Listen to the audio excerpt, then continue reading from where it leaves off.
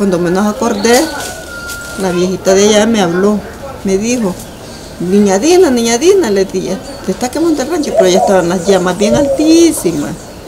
Fue cuando ya fue que ya me levanté yo y, y, aquella muchacha se vino a, echarle agua y, ya vino ahí y llamó los vecinos y ya vinieron todos los vecinos y Así narra Niña Antonia el incendio que terminó con todo lo poco que tenía, pues ella es un adulto mayor que tiene 73 años de edad y toda su vida se ha dedicado a trabajar de manera ardua, ya que es madre soltera y que no sabe ni cómo ni en qué momento ocasionó este incendio. Ella reside en la avenida San Luis de la colonia Milagro de la Paz en San Miguel. Aquí esto me costó para tener este pedazo. A puro trabajo de espalda con la cuma. Yo trabajé como un hombre. Yo a mi mamá le hice ese pozo, solo dos de camino. Venían a hacer las tiradas. Cuando hacían las tiradas, yo allí les sirví a mi mamá. Pero muy aparte de todo lo ocurrido, ella agradece a Dios que solo se hayan presentado daños materiales y que ella esté bien. Fue cuando los venimos. Yo venía recto para el juego. Yo venía recto para el juego. Dos veces me sacaron.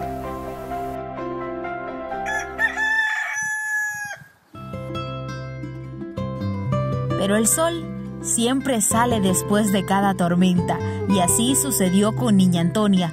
El alcalde Miguel Pereira a primeras horas de la mañana atendió el llamado de esta migueleña y llegaron trabajadores con material para construir la casa de Niña Antonia. Ya todo lo que él ha propuesto se está viendo, ¿verdad?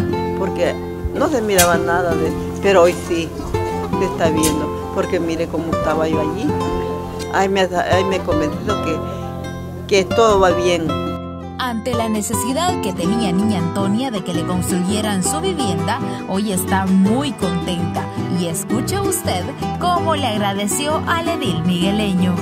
Yo le agradecería mucho, mucho y que si primeramente Dios, vamos a ir a votar por él, porque eso es lo que merece. Vamos a dar el voto, primeramente Dios, porque lo merece también. Eso no es todo. En el momento del suceso, ella dice que el alcalde Miguel Pereira le mandó personal médico y además medicamento porque ella padece de algunas enfermedades. Me mandaron medicina, ya me tomé la pastillita, bendito sea Dios y a la señorita, que el Señor me la bendiga, a su familia y a ella, y a toditos, y a el Señor también de don Miguelito. Y es que no cabe ninguna duda.